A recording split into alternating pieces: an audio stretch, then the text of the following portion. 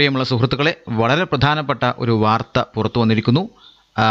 സംസ്ഥാനത്ത് lockdown May ഇരുപത്തിമൂന്ന് വരെ നീട്ടിയിരിക്കുന്നു എന്നുള്ള അതിപ്രധാനപ്പെട്ട ഒരു വാർത്തയാണ് പുറത്തു വരുന്നത്.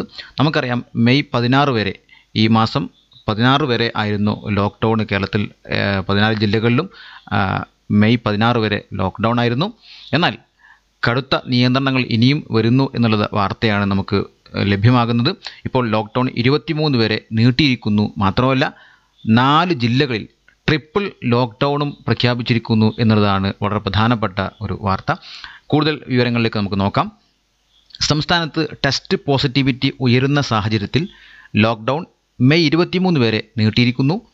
രോഗം വർദ്ധിക്കുന്ന സ്ഥലത്ത് കടുത്ത നിയന്ത്രണങ്ങൾ ഏർപ്പെടുത്തും. മാത്രമല്ല തിരുവനന്തപുരം തൃശൂർ എറണാകുളം മലപ്പുറം ജില്ലകളിൽ പതിനാറിന് ശേഷം മെയ് പതിനാറിന് ശേഷം ട്രിപ്പിൾ ലോക്ക്ഡൗണും ഏർപ്പെടുത്തുകയാണ്. രോഗവ്യാപനം കുറക്കാനാണ് കടുത്ത നിയന്ത്രണമെന്നാണ് മുഖ്യമന്ത്രി അറിയിച്ചിരിക്കുന്നത്. ട്രിപ്പിൾ ലോക്ക്ഡൗൺ ഏർപ്പെടുത്തുന്ന ജില്ലകളിൽ ലോക്ക്ഡൗണിൽ ഇപ്പോഴുള്ള പൊതു ഇളവുകൾക്ക് കുറവുണ്ടാകും. മറ്റിടങ്ങളിൽ നിലവിലെ നിയന്ത്രണങ്ങൾ അതേപടി തുടരുകയും ചെയ്യും എന്നുള്ളതാണ് അറിയാൻ സാധിക്കുന്നത്. അപ്പോൾ നമുക്കറിയാം ഈ മാസം പതിനാറ് വരെയായിരുന്നു ലോക്ക്ഡൗൺ ഉണ്ടായിരുന്നത്.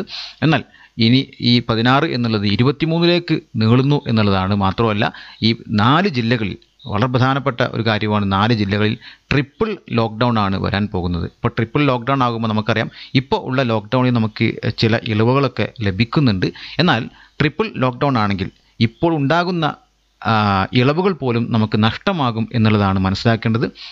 അപ്പോൾ ഇത്തരം അവസ്ഥകളിലേക്കൊക്കെ നമ്മൾ പോകേണ്ട ഒരു സാഹചര്യം വരുന്നത് നമ്മൾ നമ്മളോട് ആവശ്യപ്പെടുന്ന അല്ലെങ്കിൽ സർക്കാർ അതുപോലെ ആരോഗ്യ പ്രവർത്തകർ നിയമപാലകർ നമ്മളോട് ആവശ്യപ്പെടുന്ന കാര്യങ്ങൾ കൃത്യമായി നമ്മൾ ചെയ്യാതെ വരുമ്പോഴാണ് കൂടുതൽ നിയന്ത്രണങ്ങളിലേക്ക് നമുക്ക് പോകേണ്ടി വരുന്നത്.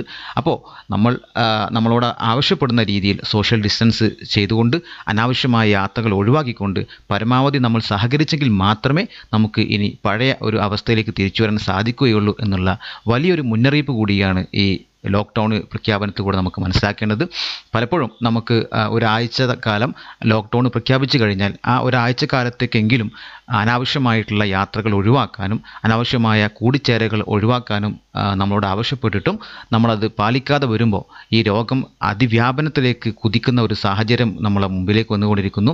അതിന്റെ ഫലമായി നമുക്ക് ലഭിക്കുന്നത് എന്താണെന്ന് വെച്ച് കഴിഞ്ഞാൽ നമുക്ക് അധിക ഭാരത്തിൽ അല്ലെങ്കിൽ ആഴ്ചകളോളം നീണ്ടു നിൽക്കുന്ന ലോക്ക്ഡൗൺ നമ്മളിലേക്ക് വരുന്നു എന്നുള്ളതാണ്.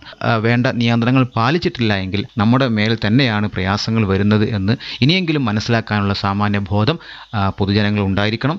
നമുക്കറിയാം കഴിഞ്ഞ വർഷം മെയ് മാസത്തിലൊക്കെ കേരളത്തിൽ മുഴുവൻ കോവിഡ് കേസുകൾ പരിശോധിച്ചാൽ എത്രയുണ്ടായിരുന്നോ അതിനേക്കാളും കൂടുതലാണ് ഈ വർഷം. ഇതേ സമയം ഒരു വാർഡിലെ കോവിഡിന്റെ എണ്ണം എന്നുള്ളതാണ് ഏറ്റവും ഭീകരമായ ഒരു അവസ്ഥയായിട്ട് നമുക്ക് മനസ്സിലാക്കാൻ സാധിക്കുന്നത്. നമുക്കറിയാം പത്തോ ഇരുപതോ ഒക്കെ ആയിരുന്നു കേരളത്തിൽ ഉടനീളം എണ്ണി നോക്കിക്കഴിഞ്ഞാൽ കോവിഡ് പോസിറ്റിവിറ്റി ഉണ്ടായിരുന്നത്. എങ്കിൽ ഇന്ന് അതിനേക്കാളും ഉയർന്ന നമ്പറാണ് ഓരോ വാർഡിലും കോവിഡ് പോസിറ്റീവ് ആയവരുടെ എണ്ണം എന്നത് നമ്മളെ ഏറ്റവും ചിന്തിക്ക ചിന്തിപ്പിക്കേണ്ട ഒരു കാര്യം തന്നെയാണ്.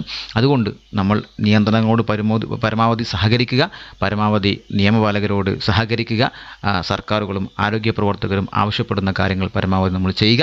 ഇങ്ങനെ നമ്മൾ പരമാവധി സഹകരിച്ചുകൊണ്ട് നമ്മുടെയൊക്കെ ശരീരത്തെയും നമ്മുടെ കുടുംബത്തെയും സംരക്ഷിക്കാൻ വേണ്ടി തന്നെയാണ് ഇത്തരത്തിലുള്ള നിയന്ത്രണങ്ങളൊക്കെ വരുത്തുന്നത് ഏർപ്പെടുത്തുന്നത് എന്ന് മനസ്സിലാക്കിക്കൊണ്ട് ഇനിയും കൂടുതൽ നിയന്ത്രണങ്ങൾ നമ്മുടെ മേലിലേക്ക് വരുന്നതിന് മുമ്പ് തന്നെ നമ്മൾ പരമാവധി സഹകരിച്ചുകൊണ്ട് ഈ വലിയ ഒരു ദുരന്തത്തെ നമുക്ക് ഒറ്റക്കെട്ടായിട്ട് തുടച്ചു മാറ്റാൻ സാധിക്കട്ടെ എന്ന് നമുക്കെല്ലാവർക്കും ആത്മാർത്ഥമായി പ്രാർത്ഥിക്കാം പ്രതിജ്ഞയെടുക്കാം.